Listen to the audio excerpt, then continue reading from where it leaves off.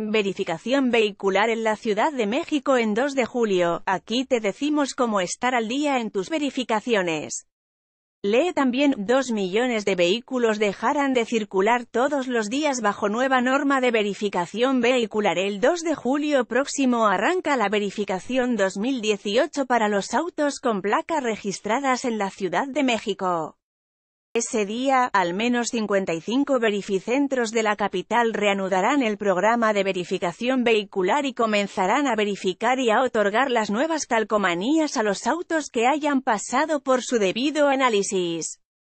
Para tales efectos, se estrenará nuevo equipo que revisa las emisiones contaminantes, así como el estado general de los automóviles. Para participar en el nuevo periodo de verificación hace falta saber que este inicia el próximo lunes 2 de julio.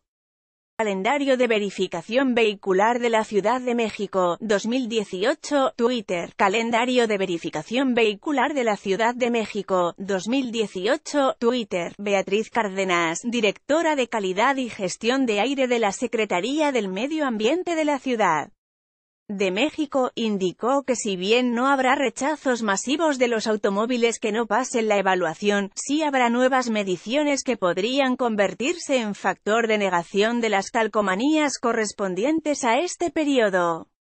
La mayor parte de los hologramas que se emiten en la flota de la ciudad son cero, hay pocos 1 y 2, porque ya se cumplen ciertas características de bajas emisiones, en ese sentido, no se cambiaron los criterios de rechazo ni el otorgamiento de hologramas y tampoco se van a aplicar infracciones si los vehículos tienen problemas en las inspecciones físico-mecánicas. En las nuevas mediciones se evaluará la calidad de las llantas, estado de los frenos y la suspensión, principalmente.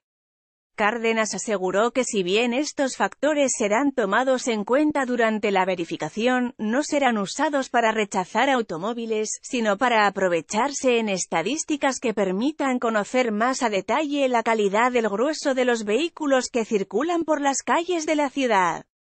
Los verificentros de la Ciudad de México incorporan nuevas tecnologías para asegurar una adecuada medición de emisiones contaminantes y medidas contra la alteración de su funcionamiento pic.twitter.com barra 17 Waens. José Ramón Amieva, arroba Amieva Joserra, Jun 7, 2018 Otro de los usos que se le dará esta información es el del análisis del envejecimiento general de los autos de la ciudad.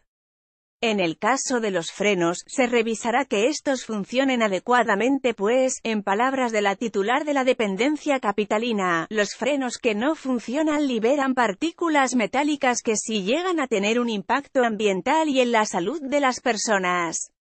También se analizará la alineación y suspensión de los automóviles, así como la integridad de las llantas de cada vehículo verificado. Vamos a identificar los niveles de emisión de esas partículas en cada uno de los autos y a partir de ahí podremos pensar en mejoras de mantenimiento para reducirlas.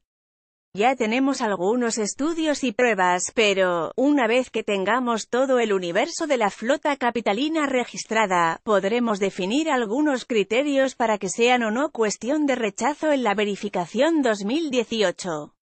Hasta ahora todo es estadístico. Cárdenas aseguró que la información que resulte del análisis de los vehículos también se aprovechará para mejorar las vialidades de la Ciudad de México pues muchas veces, son estas las que provocan algunos de los desajustes que hacen que el funcionamiento del tránsito local no sea óptimo.